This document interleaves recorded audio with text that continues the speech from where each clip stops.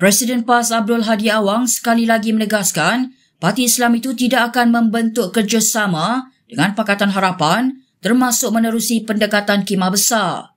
Menurutnya gabungan itu tidak mampu menegakkan keadilan secara menyeluruh kepada rakyat walaupun menjadikan keadilan dan amanah sebagai jenama.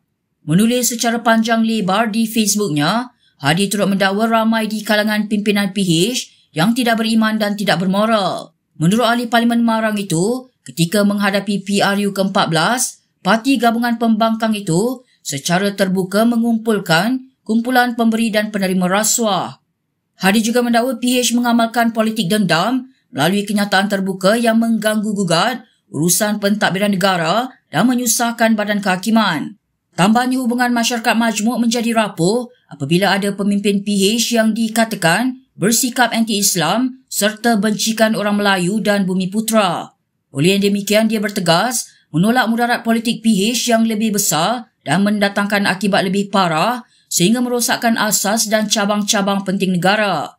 Selain itu, katanya, penipuan PH dalam manifesto pilihan raya yang lalu telah menghilangkan kelayakan untuk gabungan itu berpolitik selain berdosa seperti mengamalkan rasuah.